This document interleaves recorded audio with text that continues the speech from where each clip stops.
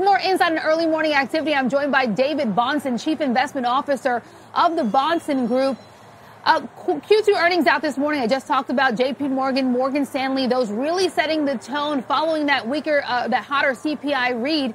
What's your reaction to this re- result or these results? What's your level of concern, especially when it comes to margins, um, you know, from investment banking and loan growth as that continues to slow down? Yeah, I mean, you uh, have to remember that J.P. Morgan has 1.1 trillion dollars of loans outstanding, and their loan loss reserves would be basically about uh, my lunch budget for today. So it really was a very, very small number. The issue is just that they're not getting that accelerated margin growth. And on the Morgan Stanley side, it has much more to do with balance sheet stuff. They just don't have a lot of trading revenues. Uh, they they downplayed that business. Most of their uh, revenues come from the wealth management side now, and so it just was kind of an underwhelming quarter, and it didn't lead to earnings growth.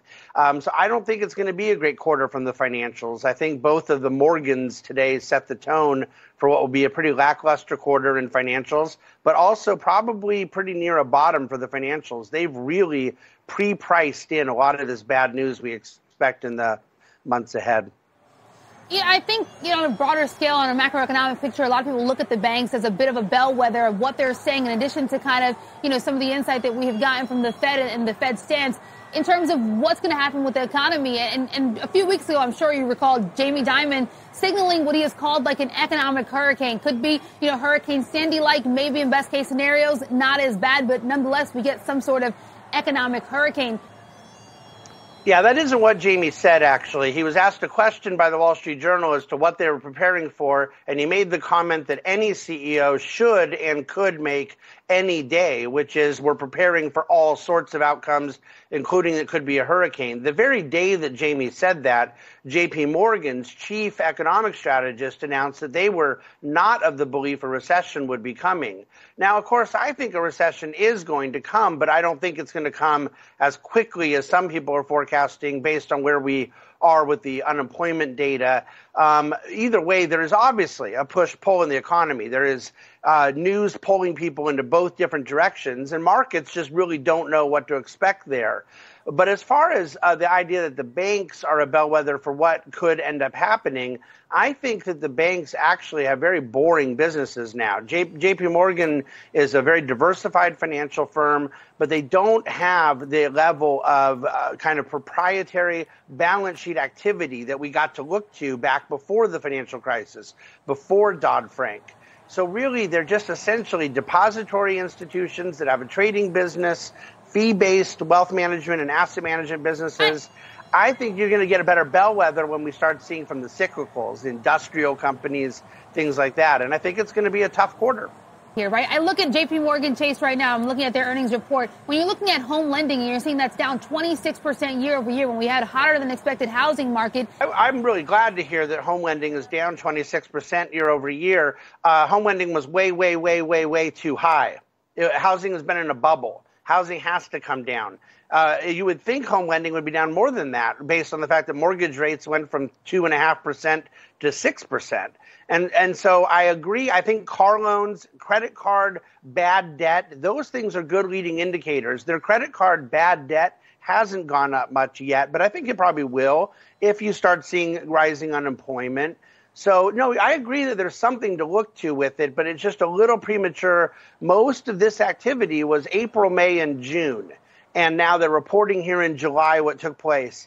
And it really wasn't anything on a macroeconomic basis that shows a huge shift in activity. That could be coming, but we're trying to look forward, not backward.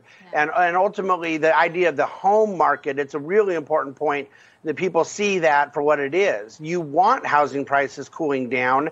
You don't want people spending 55% of their income on their house payment. So overall, I just think that there's mixed data here. Yeah, tomorrow we're going to get some more banks, and I think collectively that gives us another layer of data to kind of support um, and parse through. We've got Wells Fargo, Citigroup; those are going to be reporting. Uh, we'll have Bank of America, then Goldman also on Monday. What are you expecting for those companies? Is it going to be more the same what we saw today? Yeah, I think Citigroup, Wells Fargo, and Bank of America, we pretty much perennially expect to be disappointed. Um, now, of course, they end up having some quarters that, that do quite well. But those are businesses that, unlike JP Morgan, lost most of their sort of exciting uh, activities. You remember during financial crisis, JP Morgan got to add Bear Stearns' good businesses. They got to add Washington Mutual. Morgan Stanley bought Smith Barney from Citigroup. Really, uh, the, the other businesses, I think, do not have the same growth engines. You can look at the stock performance. JP Morgan's up 400% since the financial crisis. Citigroup is down 90% since the financial crisis, still today. So, um, anyways, as far as what they're uh, going to claim, it's going to be more of the same about mortgages, about refinances. And then Goldman Sachs is not a traditional bank, more like Morgan Stanley. They're more the investment bank side. And Goldman really depends heavily on trading revenue. And I think capital markets has, has been quite uh, dormant. And so I expect that Goldman will have a slow quarter as well let, us pivot from earnings to, to CPI because that is what has weighed on the weighed on the market certainly yesterday, and I think that's layered still into what we're seeing, um, you know, today with the markets being under pressure. 9.1 percent in June, highest since you have to go back to 1981. You got the Federal uh, Reserve Economic Survey pointing to these elevated fears of a recession. I think we're at, you know, the concern of a recession and then pricing in a 75 basis points at an 80% chance that we're going to see that. And if I'm being honest, I talked to a lot of traders here on the floor of the stock exchange, and some of them started talking about 1%, a full percentage point of, of the Fed, um, you know, hiking rates this next time around. I don't know how, how real that is, but the fact that that is now becoming a part of the conversation, I think says something. What are your thoughts? Well, actually, it's an 80% chance this morning of a 1% rate hike. So I don't think it's just part of the conversation. I think it's what the market's pricing. The CME, CME Fed funds futures have completely moved. And, and I don't think it will change the terminal rate. You know, a lot of people are very focused on the rate at which the Fed gets there ultimately doing 75 instead of 50 last time, doing 100 instead of 75 this time, it doesn't change what really matters, which is how high they end up going. And I continue to believe that there's some number at which they're going to end up stopping and blinking. Um, but they have to see unemployment get higher before they kind of chicken out, and they have to see credit spreads really blow out. Credit spreads are way up, but they haven't panicked markets yet. So um, I think that they're uh, in the CPI number. It was the fourth month in a row that goods inflation was actually down, but services inflations continue to go higher as the lagging impact of rent and and kind of that uh, house prices factor gets uh, baked in. It, the the core versus headline is very interesting. Energy was a big piece of that, and if somehow gas prices can avoid going back higher it's very possible you get a reversal next month. But either way, the, the inflation factor is not really going to change much from either 75 or 100. This is so supply side driven. And I think that's the part that the market has not wanted to admit is that the Fed can raise the Fed funds rate to a better level. They need to. They've been completely distorting asset prices but actually the inflation side is much more money supply driven and ultimately production of goods and services in the economy driven. The actual cost of capital has had very little to do with this.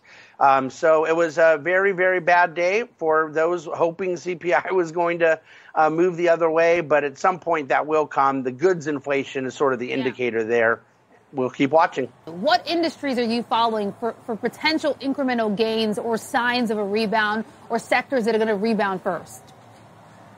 Yeah, I mean, there's no question energy still remains up on the year. It's gotten hit hard in the last few weeks and yet still is the best returns. It was the best returning sector all of last year. Uh, people can look to the conditions in Europe, uh, the supply demand imbalances, and make their own decisions um, ultimately, we're talking right now about oil being in the 90s, close to 100 as a recession number. Oil should be at 50 if we're heading into a recession. And yet, I think energy still pretends a lot of opportunity. Consumer staples is what I would like the most here. It's actually done quite well over the last couple weeks considering all the pressures in the market. Pepsi the other day was up as they released their earnings. And the reason is that they're able to have pricing power. They can yeah. pass on the impact of higher input prices to the customers, and ultimately those margins, I think, become sticky. So we like consumer staples and more defensive sectors in this environment. David, appreciate your time and your insight. David Bahnsen, Chief Investment Officer at the Bahnsen Group.